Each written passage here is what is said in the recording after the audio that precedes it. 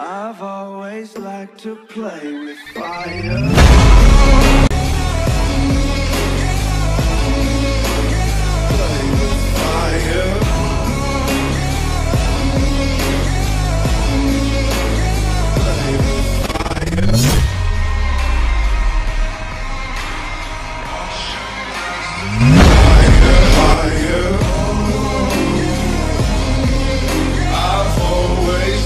to play with fire.